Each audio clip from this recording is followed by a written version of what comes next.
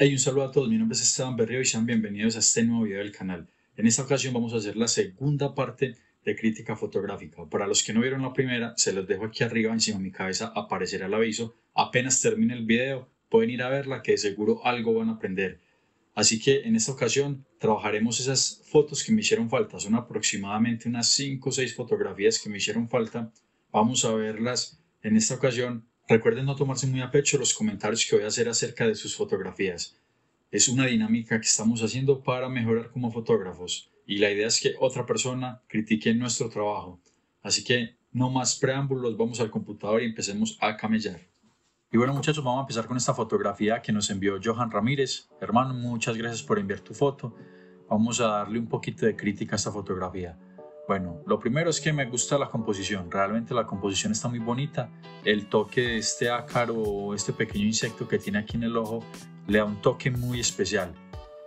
Por otro lado, pues veo que la fotografía tiene una luz muy fuerte, creo que no había un difusor, no usó difusor como tal, o no reguló bien la intensidad del flash a la hora de hacer el disparo, por lo cual algunas zonas quedaron con una luz demasiado fuerte. Otra de las cositas que veo es que esta fotografía le falta foco a la ranita en la parte de la cara. Tenemos un enfoque, aquí se puede ver un enfoque como obligado tratando de sacar enfoque donde no había enfoque, donde había muy poquito enfoque. Entonces se ve un poquito raro y se ve feo realmente ese sobreenfoque que se trató de darle ya que vemos que la mayoría del enfoque está por aquí en la manito, que está un poco más adelante de la cabeza, por eso la cabeza quedó un poco desenfocada.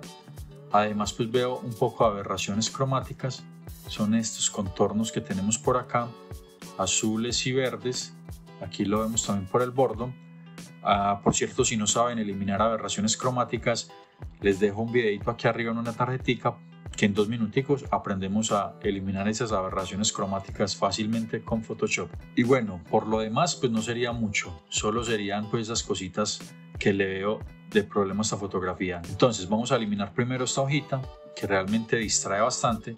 Vamos a usar la herramienta lazo, hacemos una selección, nos vamos a ir a edición, rellenar según contenido y le damos OK el computador empezará a trabajar y eliminará esa hojita de una forma muy efectiva. Control de para de seleccionar y miremos cómo de fácil eliminamos esa hojita. Lo otro que vamos a hacer es bajar esta luminosidad que tiene la fotografía por este lado.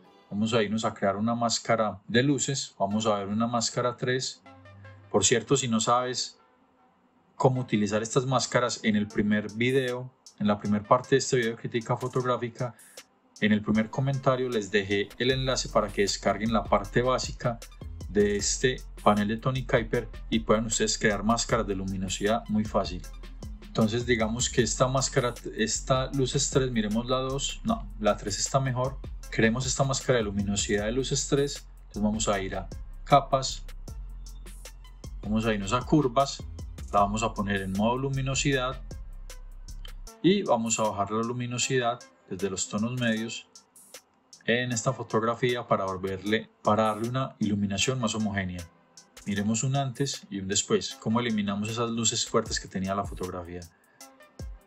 De pronto algo más que sí podríamos hacer es aumentar un poco la exposición de la fotografía en general, pero solo un poquito nada más. Eh, yo creería que ahí está. Y por último le quitaría las aberraciones cromáticas, pero por no hacer el video más largo, pues dejémosla en este caso aquí. Recuerden que tengo un video en el canal donde les enseño a quitar esas aberraciones cromáticas. Y no siendo más, esto sería todo lo que le haría esta fotografía a Johan. Por cierto, muy buena, una ranita muy linda. Y de nuevo, muchas gracias por enviar la fotografía. Vamos con esta fotografía de Andrés Pineda, de este bonito y común azulejo. Pues realmente el primer error que le veo yo a la fotografía es que tiene mucho aire en las hojas. Está bien que muy seguramente quería mostrar el entorno del pajarito, pero en este caso veo que están tomando mucho más protagonismo las ramas que el propio azulejo. Así que lo primero que voy a hacer es hacer un reencuadre. Vamos a dejarlo en proporción original y vamos a reencuadrar un poquito esta fotografía para darle más protagonismo a nuestro personaje. Vamos a ubicarlo más o menos ahí. No, incluso lo voy a cerrar un poquito más el encuadre.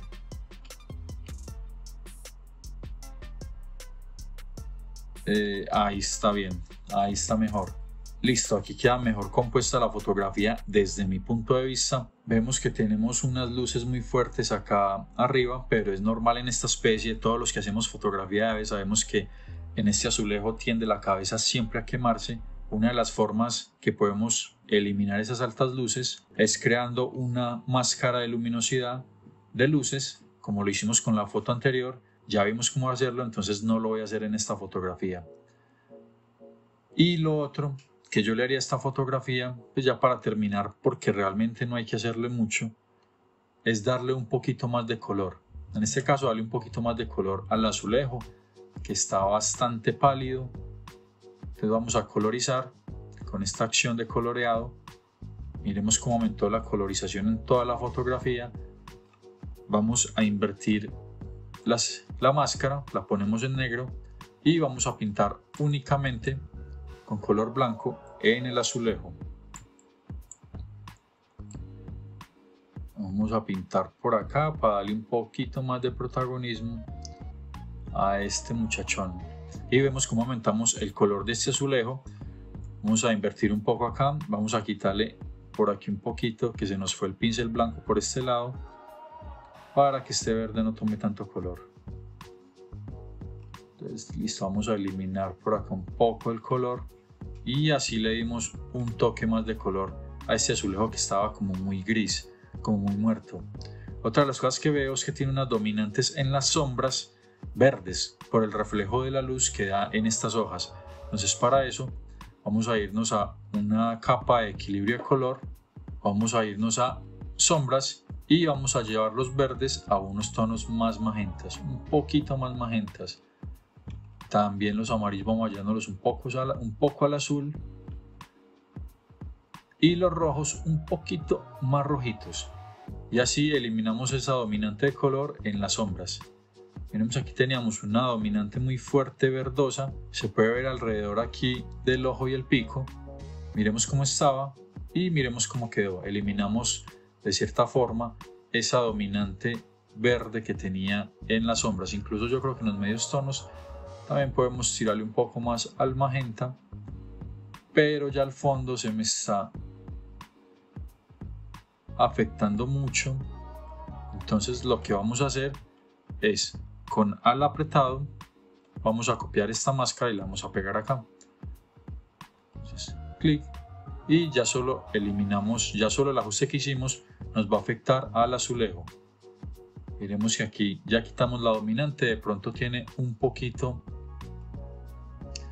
un poquito mucho realmente de magenta vamos a eliminarle el magenta también a este lado en las sombras poquitico nada más y yo creo que así equilibramos un poco el color y esa dominante tan verde que tenía otra de las cosas que haría sería de pronto quitar un poco de saturación en las hojas que están muy verdes y muy amarillentas, llaman demasiado la atención. Vamos a hacerlo aquí un momentico. Pero como les he dicho en muchas ocasiones, pues de cierta forma eso es de gusto. Pero vamos a ver cómo nos quedaría. Eliminemos un poco la saturación del amarillo. Y vamos allá en los tonos amarillos a un tono más verde. Digamos algo así. Y nos vamos también a los verdes y vamos a desaturarlos un poco y le bajamos un poco la luminosidad. Con eso estamos quitando esos colores tan fuertes en las hojas y le estamos dando mucho más protagonismo a nuestro sujeto.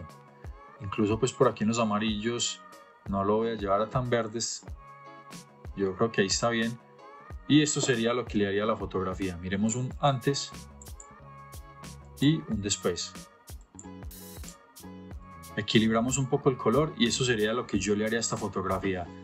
Andrés, muchas gracias por enviar la fotografía hermano y sigue practicando mucho para que mejores esas fotografías. Vamos con una foto de otro Andrés, en este caso Andrés Ruiz, una fotografía macro de una mosca cernidora, muy bonita por cierto. Realmente esta fotografía lo que hay que hacer es muy poquito, me gusta el color, me gusta el fondo, la fotografía en general es muy bonita, lo único que haría aquí sería reencuadrar un poco con la herramienta recorte. Entonces, como está en vertical, vamos a trabajarlo en 8 por en 8x10 o 4x5 y vamos a darle un poco más de protagonismo a la mosquita. Vamos a dejar los ojos en el centro y ubicarla un poco a ella en el tercio superior izquierdo.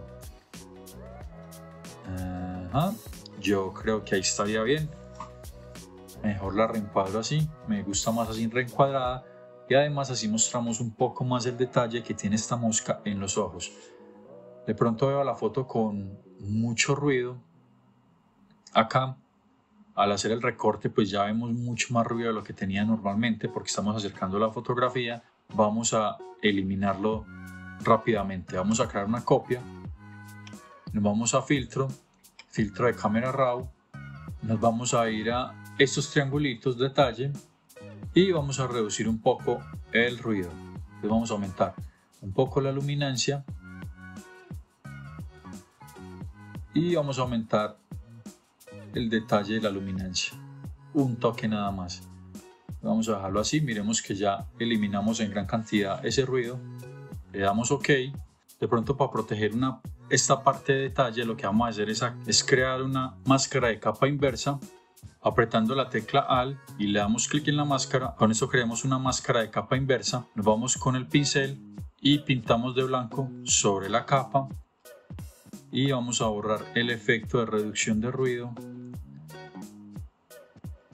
de esta zona. Y a ver, aquí me equivoqué. Estaba haciendo lo contrario. Entonces vamos a darle otra vez control I y ahora sí, en la parte blanca se va a aplicar el efecto en la parte negra, que es donde está la mosca que acabamos de pintar. Como vemos aquí en la máscara de capa, estaríamos protegiendo esta zona de detalles. Lo otro que haría con esta fotografía sería de pronto centrar un poco más la atención en la mosca. Entonces vamos a crear una viñeta. Vamos a hacerlo también a través de Camera Raw para que los que no usan Photoshop sepan cómo hacerlo en Lightroom. Son dos programas muy similares. Entonces vamos a crear una nueva capa y nos vamos a ir a, otra vez a filtro de cámara RAW. Vamos a ir aquí a efectos, viñetas posteriores al recorte. Vamos a disminuir un poco la viñeta. Aumentar un punto medio un poquito que sea un poco más redonda. Incluso yo creo que podemos bajar más la viñeta.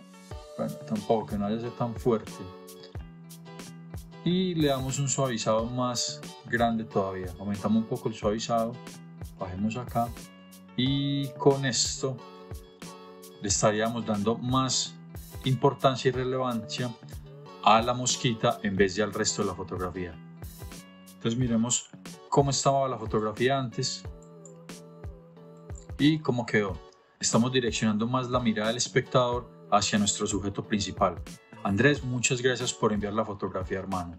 Vamos con esta fotografía de Felipe Botero, una guacamaya, muy linda por cierto, una ararauna.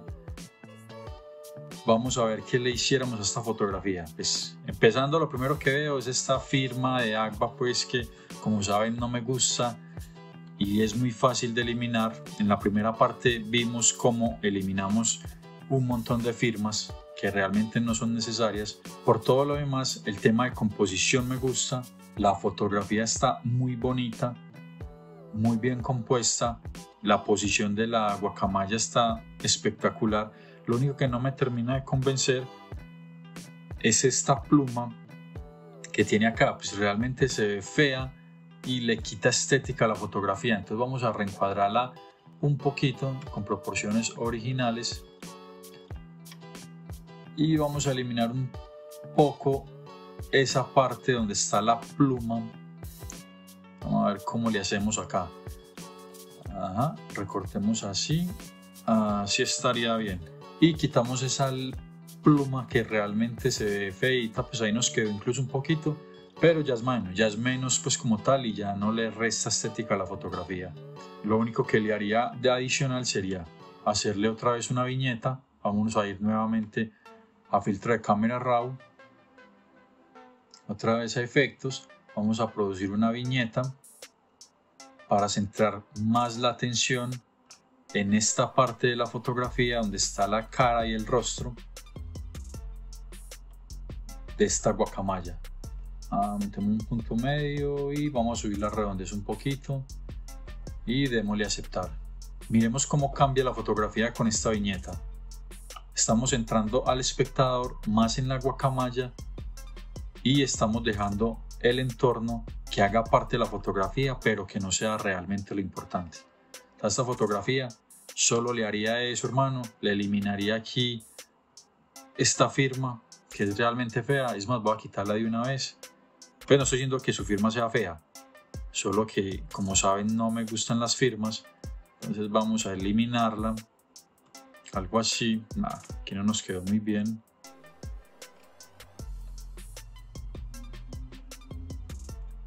Eh, yo creo que ahí está mejor. Y con eso terminaría tu fotografía, me Felipe. Por cierto, felicitaciones hermano, muy buena la foto, me gustó mucho. Y muchas gracias por enviarla. Vamos con esta fotografía de Jerry Minota, un retrato muy bacano, muy curioso, muy creativo. Vamos a colocar la foto de toda la pantalla. Y bueno, mis primeras recomendaciones, hombre Jerry, eh, la iluminación. Pues yo creo que esta fotografía fue hecha con iluminación natural porque aquí tenemos demasiada luz mientras que aquí no. Realmente debemos de cuidar la iluminación en nuestras fotos y más estamos hablando de retrato porque produce una sensación bastante rara y particular esta fotografía desde mi punto de vista que no soy el más experto en retratos. Lo que yo haría sería como igualar un poco la luminosidad de esta área con la de esta área. Vamos a ver cómo lo hacemos. Vamos a irnos nuevamente a filtro de cámara RAW y vamos a crear un degradado en esta zona dejémoslo así, no tenemos que ser tan pulidos. Y vamos a aumentar, vamos a restablecer estos ajustes primero. Y vamos a aumentar un poco la exposición, más bien bastantico. Vamos a aumentar las altas luces. Vamos a levantar las sombras. Vamos a correr este filtro un poco más para acá. Vamos a darle mayor degradado.